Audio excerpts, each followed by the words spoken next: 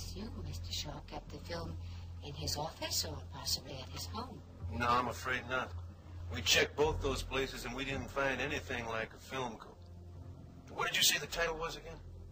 I didn't, but I believe Mr. Shaw referred to it as Endless Passion. No, I'm certain I'd remember anything like that.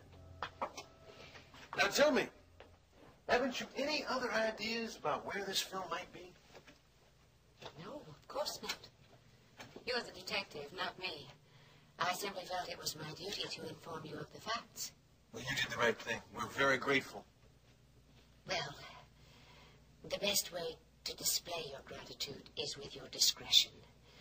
You see, it has not been easy for me to come here and reveal these things about my daughter-in-law. No. No, I'm sure it hasn't. And I promise you that I'll do everything in my power to prevent this information from becoming public. I'd also appreciate it if you would try not to reveal the source of this information to anyone. I promise you I won't, Mrs. Wheeler, not unless it's absolutely necessary. Thank you. I'll be going. Thank you again, Mrs. Wheeler. It was my duty. Good night. Good night.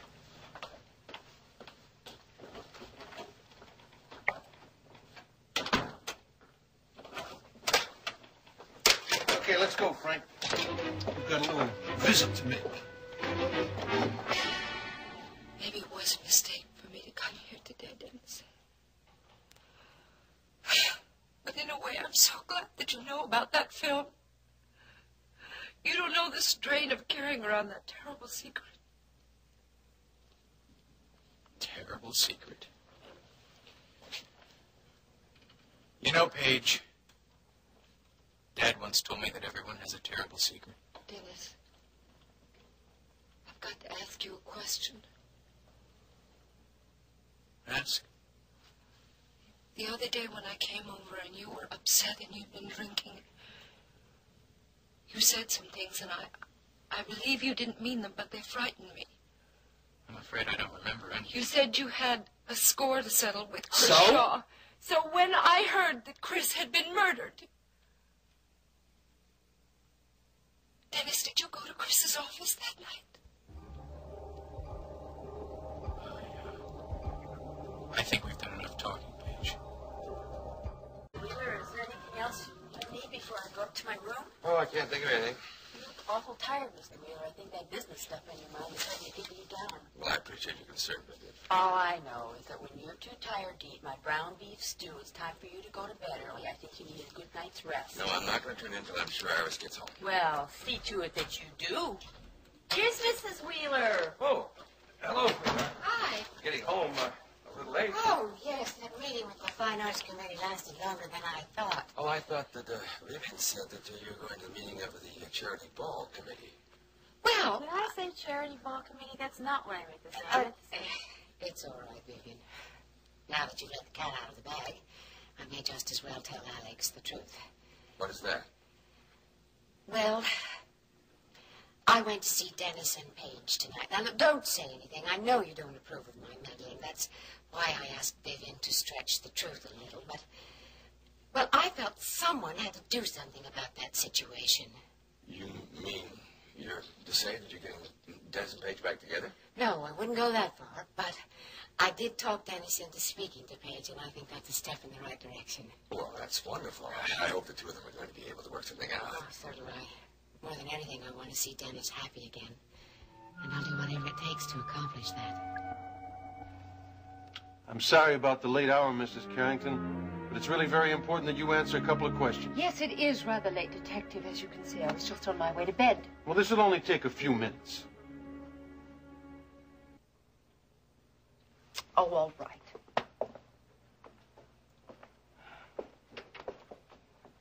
Uh, we've been doing some follow-through on that matter that you and I were talking about before. Oh, yes, and what matter is that, Detective?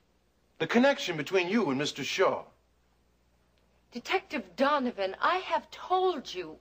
I met him in Hollywood. He was an aspiring producer. It was a very casual thing and a completely professional relationship. Yes, that's what you told me, all right. But you neglected to mention one rather important fact. Oh, yes, and what's that? It seems you actually starred in a porno movie that Mr. Shaw produced. Is that true?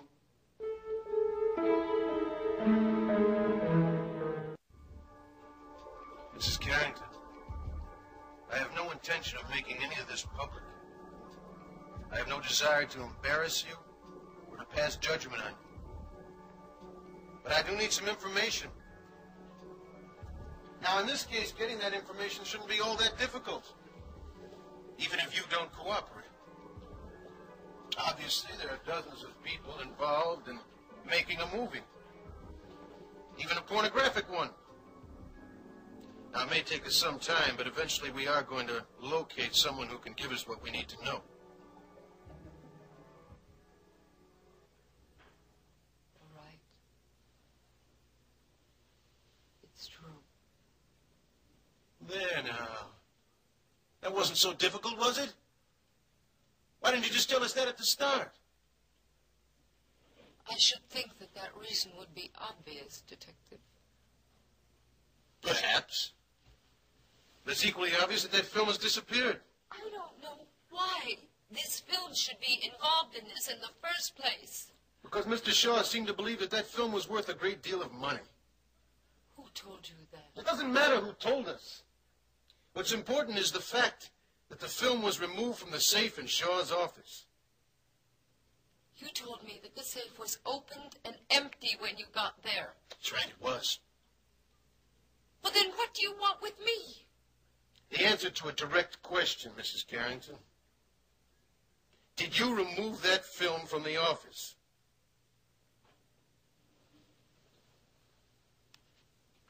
No. Do you have it in your possession now?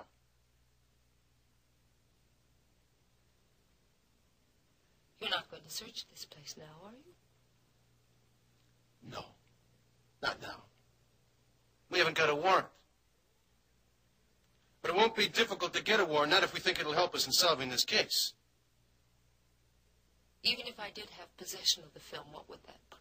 It would prove you had access to Shaw's office on the night of the murder. My God. You don't think I killed that man to get the film?